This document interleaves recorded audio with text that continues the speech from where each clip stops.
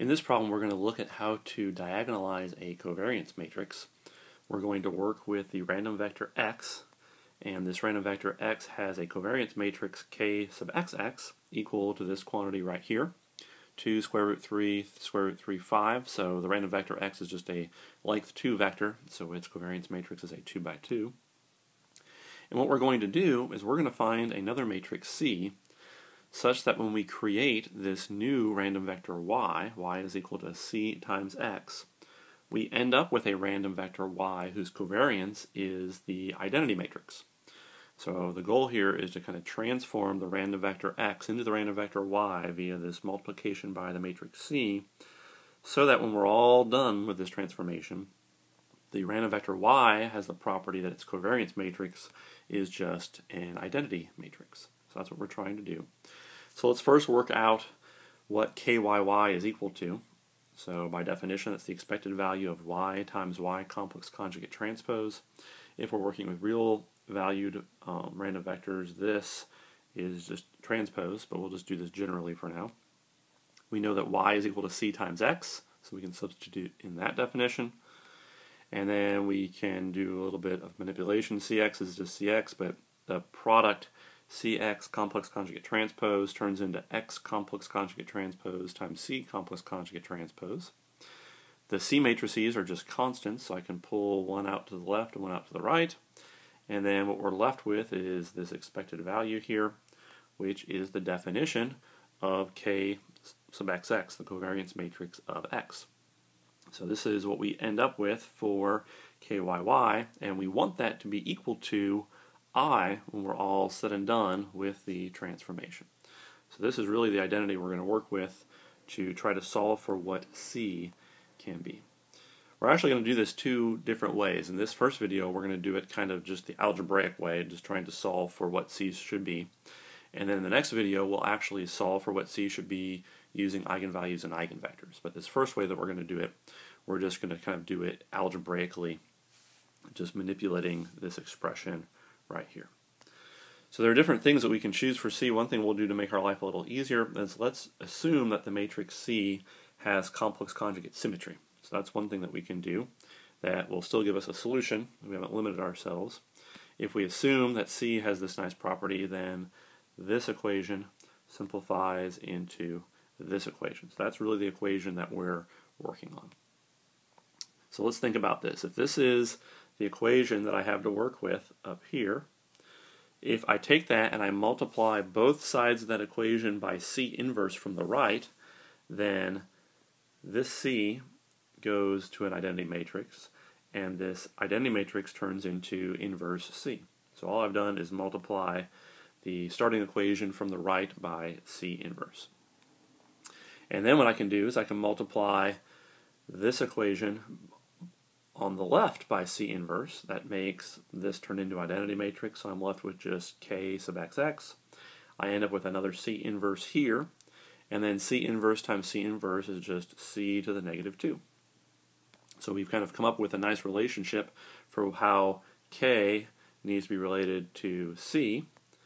If I flip that equation, if I inverse both sides of this equation, this turns into K inverse, and c to the negative 2 turns into c squared.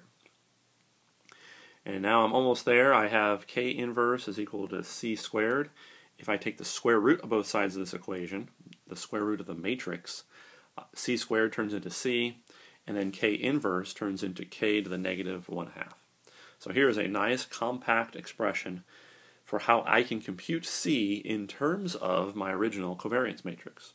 So all I need to be able to do is compute the negative square root of the original matrix K. So how can I do that? Well, I can actually kind of do that in two steps. First, let's compute the inverse of this matrix.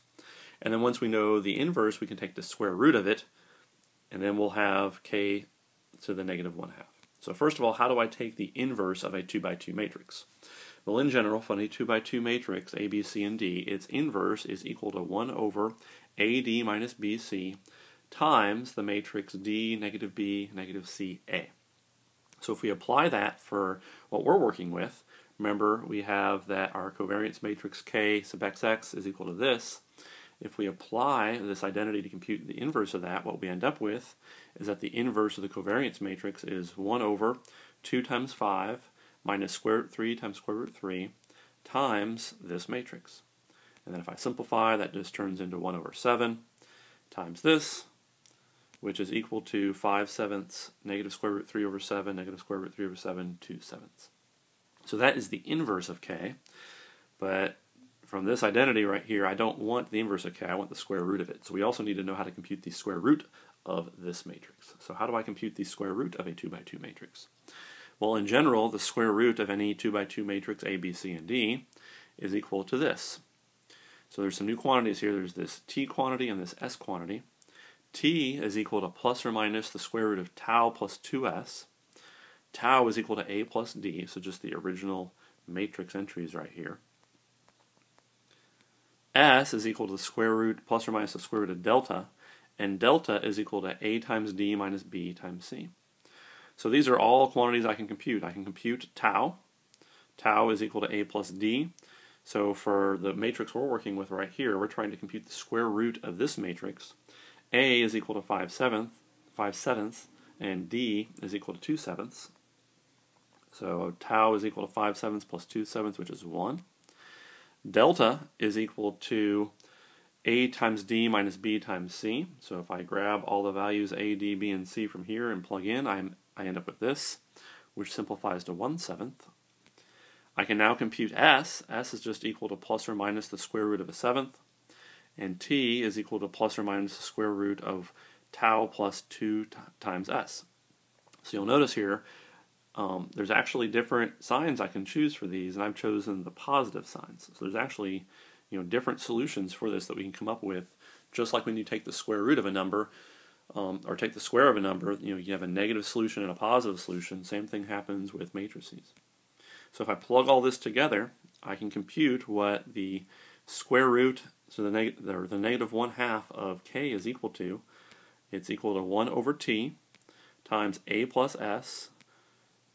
Then there's a b, c, and then d plus s. So this is what k to the negative 1 half is equal to, which is what we said c needs to be equal to to diagonalize the covariance matrix for y.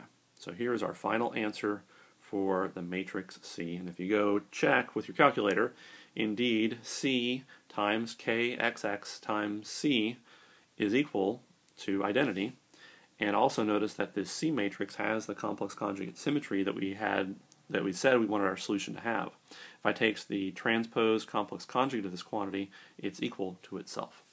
So this is one way to go about diagonalizing a covariance matrix, and the way we did it was just kind of algebraic manipulations to come up with this nice equation here that we could then solve for using basic matrix inverses and basic matrix square root operations. In the next video, we'll do the same problem, but we'll use eigenvalues and eigenvectors.